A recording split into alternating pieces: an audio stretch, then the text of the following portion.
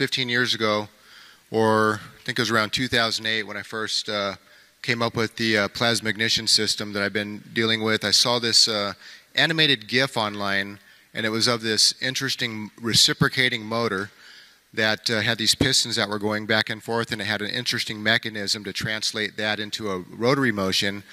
And it always kind of stuck in the back of my mind, and I always had a dream of uh, mating the plasma ignition with it, doing water fuel tests, and that kind of thing. And one thing led to another, and I finally got connected a few years ago with somebody named Roger Richard, who is the uh, leading authority on the Bourke engine, who's been uh, involved with studying it, and he has three of the original I believe, three original uh, Bourke 30 cubic inch engines. This is an engine that was invented, I believe, back in the 1920s by Russell Bourke. And uh, to this day, it still remains the most efficient uh, gasoline powered engine that's ever been devised. It's one of the most important technologies that has ever been created, and the implications are pretty, uh, go, go pretty deep. Um, Roger Richard has a few of these engines. He hand built one, has been doing a lot of testing over the years, and he's been making his information available through his YouTube channel. Bourke Engine TV, I think is his channel. And he originally was scheduled to present here, but because of uh, some health complications, he wasn't able to make it. And he put me in touch with our next uh, presenter, Sky uh, Huddleston, and uh, he told me that uh, Sky was going to be bringing his own engine. And so I wind up with a package, three priority mail packages in the mail with a 30 cubic inch Bourke engine disassembled. They came to my home, and I'm thinking, I need to put this in my safe. You know, this thing is so valuable. You know, they're rarer than hen's teeth, and to have two of them in one conference is like this probably hasn't happened since uh, Russell Bourke was alive. And, uh, you know, other than Roger's personal collection. And so Roger told me that uh, Sky had been uh, working with him for a while, and uh, essentially, I guess you'd consider him uh, Sky to be Roger's protege, who would probably be the second most authoritative expert on this technology. And over the last few days, we've had a chance to talk, and he's absolutely brilliant. He uh, has taught me quite a bit about this. He sees a lot of possibilities that I haven't even seen with this engine. And uh, fortunately, he was able to bring his engine. They're going to be displayed back here after, you know, we'll take some questions at the end of this presentation. He'll be here all weekend and he can answer questions. You can get a, a closer look up front after the presentation. We'll take these down, put them back, uh, back in the other room. And so this presentation will go until about uh, 4 o'clock and uh, it's going to be very fact filled. He's very passionate. One thing I want to mention is that um, Sky has a company, uh, Liberator LLC. His website, everybody should really write this down, is have, has anybody heard of a rocket heater or these gasifier type stoves? He manufactures about the best one that you can possibly get at a 99% efficiency. 99.5. 99.5% efficiency. It's one that I'm going to put in my house instead of a word burning insert because it makes a lot more sense.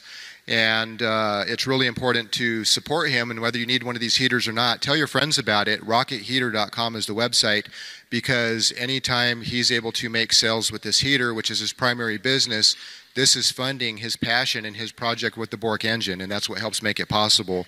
So, absolutely spread the word, tell your friends about it, send it out on your mailing lists, share his YouTube videos. And do you have a Facebook page? Okay. Um, so rocketheater.com, and if you have any questions, he, you know he'll be here all weekend. So uh, feel free to ask him any questions about that in particular. So help me welcome Sky Huddleston.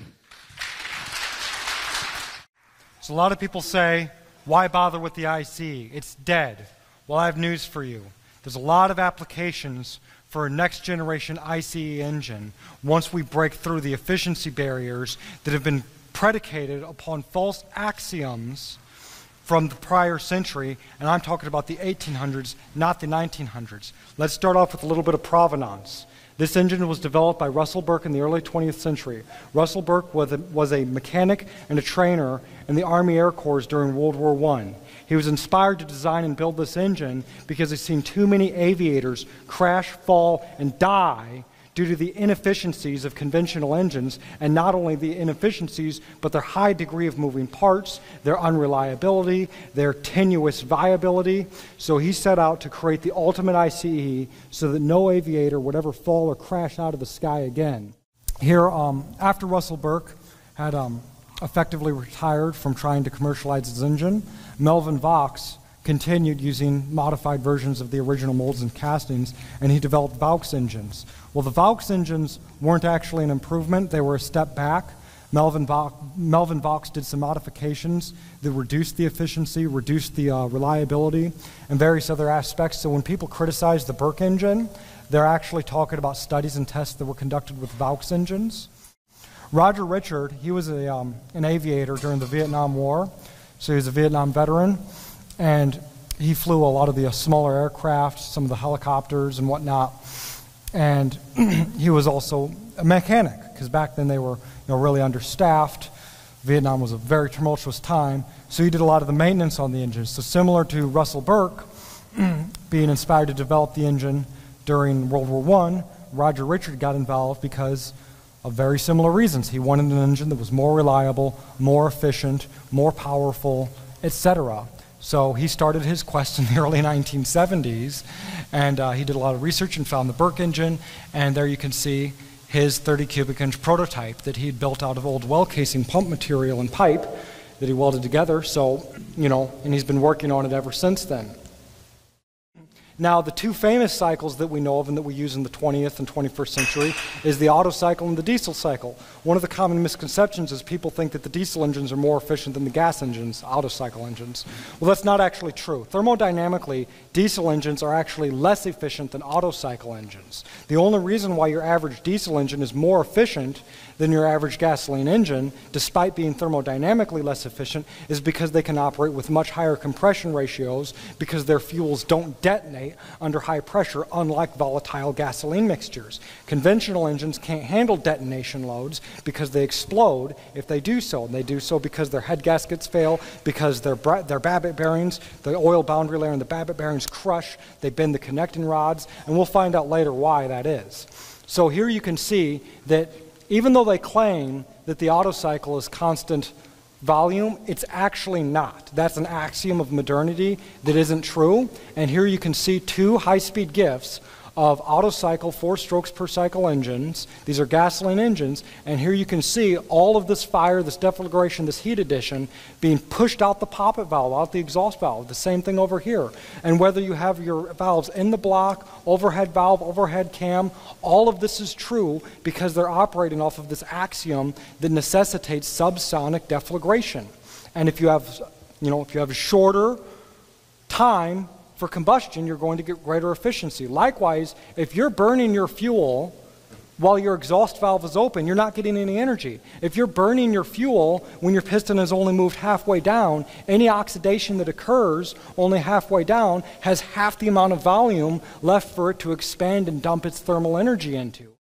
And then in the 1980s, when we went away from carbureted systems, which were homogenized charges, we went to fuel injected systems. All of these engines that run on liquid fuels, try to run on liquid fuels, are doing something wrong because liquids don't burn. It is impossible for a liquid to bond and oxidize with oxygen to form a deflagration wave. It doesn't matter how small you atomize the fuel, it doesn't matter how small those droplets are, you're still going to have small spherical droplets, and spheres have the highest surface or highest volume volume to surface area ratio, which means they can only burn across the boundary layer of these little spherical atomized droplets, which means you get your subsonic deflagration, which causes an inefficiency loss. Furthermore, just like sweating cools your body down via evaporative cooling, when these fuels have to evaporate before they can bond with oxygen, which they have to, it endothermically cools down the engine, which reduces and robs power. And another thing, before, even after you vaporize your fuel, even after you atomize, vaporize your fuel, before it can bond with oxygen, it has to chemically break down. So you have to break the carbon carbon bonds, you have to break the hydrogen carbon bonds and the hydrogen hydrogen bonds, and then you can finally oxidize your fuel and get your exothermic heat input into the engine rather than cryonically cooling it via you know, sweating, via vaporization and the enthalpy of the heat loss there. So we want, what we really want is pure homogeneous charges of gaseous fuels that are as short of a carbon chain length as possible if you're running hydrocarbons. But at the end of the day, you want gaseous fuels that are very simple and easy to oxidize. That's how you get the most amount of power with the greatest degree of efficiency. This is that GIF that Aaron Murakami was talking about earlier. This is how a Bourke engine works, and this is why we can obviate the side thrust. It's why we can obviate, you know, having to worry about knock. And you can see one of the big advantages is that because the piston and rod assembly reach maximum velocity at 90 degrees to crank angularity, we have no secondary forces. In a conventional engine with the wiggling connecting rods, the top 180 degrees of rotation has a higher mean piston speed than the bottom 180 degrees of rotation. So this means there's a disbalance called a secondary force, and the only there's no real practical way to do this. The OEMs have tried to do this through balancing shafts, they've tried to do it through impedances, through all sorts of mechanisms, but there's no way to do it. The only way to eliminate that secondary force is to achieve maximum velocity at 90 degrees to crank angularity so you get a perfect sinusoidal wave function of your reciprocating mass. The Scotch yoke architecture has a lot of advantages. It allows for extreme simplicity. So, engineering principles, basic principles state all other factors being equal, having less moving parts is more reliable because there's less nodes of failure. Well, at the end of the day, this assembly, once it's assembled, can be considered one part. And so, with your crank and your piston rod and yoke assembly, you effectively have two moving parts. It doesn't get much simpler than that as far as an engine is concerned that's practical for road use. These are audiographic waveforms taken from a convention, uh, taken from a Bourke engine. And you can see these waves, these peak pressures, are very, very consistent among each other. This is not what you see in a normal, typical internal combustion engine. In a typical internal combustion engine, you're going to see a lot more discrepancy between each power cycle, and that's because the subsonic fuel burning is not burning very consistently, no matter how many control schemes you're going to try to operate. Conventional, original Bourke engines offer four horsepower per pound naturally aspirated. That's unheard of in a conventional naturally aspirated engine. And that's because they have a 30 to 1 static compression ratio. and the sinusoidal wave function just offers a lot better balancing characteristics, as I covered earlier. Another advantage of a Bourke engine is that the crankcase oil is entirely isolated from the combustion process. In a typical internal combustion engine, you have your rings, you have your end gap, you have your oil control ring, your scraper ring. All this causes blow-by, uh, directly into your crankcase. And this can cause fuel, unburned hydrocarbons, scratch, you know, metal particulates, anything from the air can now get into your crankcase and scratch up and destroy your crankshaft. Well, Bourke engines isolate their crankshaft from the pistons, from atmospheric air, so your crankshaft, you know, your, your bearings, all of that is isolated from these contaminants, so we're going to have a much longer lasting engine. And that's actually something I'd like to point out real quick, is that our maintenance interval and the way that we maintain an engine, in a normal engine, a top overhaul means you're overhauling the entire engine, right? But in a Bourke engine, all you have to do is unscrew four nuts, pull off the cylinder, and bam, there's your piston, there's your rings, there's your wrist pin. You got this bronze bushing that the connecting rod reciprocates in, and so you could top overhaul the engine in five minutes with one wrench. You can't do that with a conventional engine. Much easier maintenance cycles.